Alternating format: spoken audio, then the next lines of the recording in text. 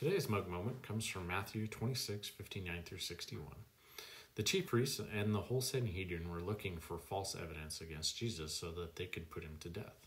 But they did not find any, though many false witnesses came forward. Finally, two men came forward and declared, This fellow said, I am able to destroy the temple of God and rebuild it in three days.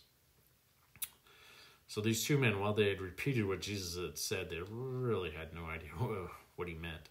While Jesus mixed his messages of building in three days and tearing down the system, he was introducing the kingdom upon his death. Even looking back 2,000 years, we still struggle to understand and wrap our minds around what was happening.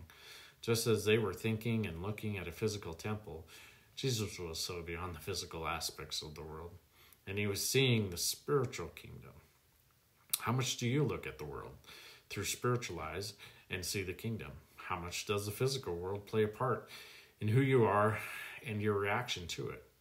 While we do live in a physical world and its laws, we are to live in the Spirit and be ruled by the Spirit in everything we do. That is a big challenge and requires to turn away from something we see, touch, taste, feel, and turn to a spirit that speaks to our hearts. This is through His truth, His word, our emotions, and, and self reflection.